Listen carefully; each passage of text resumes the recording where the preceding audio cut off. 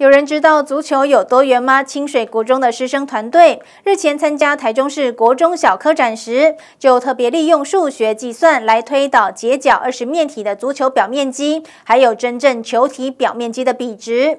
由于指导老师考虑到国中时因为没有教到三角函数，因此改采较复杂的运算方式来做验证。也因为如此完整推论过程和创意命题，让他们成功打败各校好手，一举夺下首奖肯定。你写到说你算是 A C E。S 一是这个奖。师生团队反复计算公式，仔细推论。清水国中师生团队日前率队参加台中市国中小科展，以足球有多元作为主题发想，利用数学计算来推导截角二十面体的足球表面积与真正球体表面积的比值。靠着完整的推论过程与创意命题，让他们一举夺下数学科的首奖肯定。就是因为这个李化老师在上课的时候有向我们提到这个巴克球嘛，然后他就展示给我们看。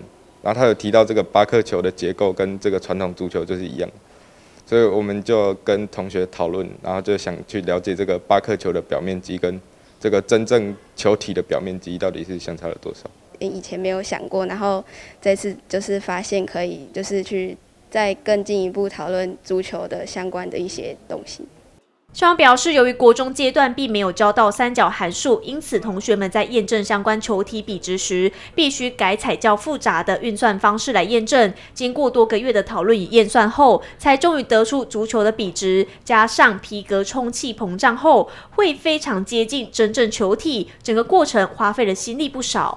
我认为就是在这些推导公式的过程中，或者是就是在研究这些表面积的关系，让我们的都都是。在就是增进我们逻辑思考的能力。最后，我们有非常惊讶的发现，是跟它的这个顶点数有关。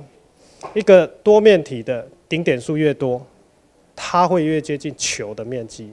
这真的是我们始料未及的哈。那啊，整篇的文章也是让我们更清楚，在多面体几何的研究啊，那这整个推导。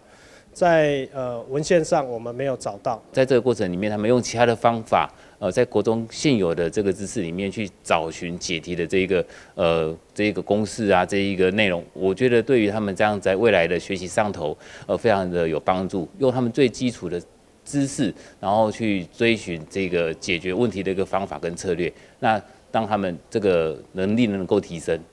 同学们表示，尽管计算时遇到不少的困难，但过程中也得到不少的收获。校方也表示，接下来师生团队也将代表学校参加五月中旬登场的全国赛，期许他们能够再接再厉，勇夺佳绩。谢成波汉台中采报道。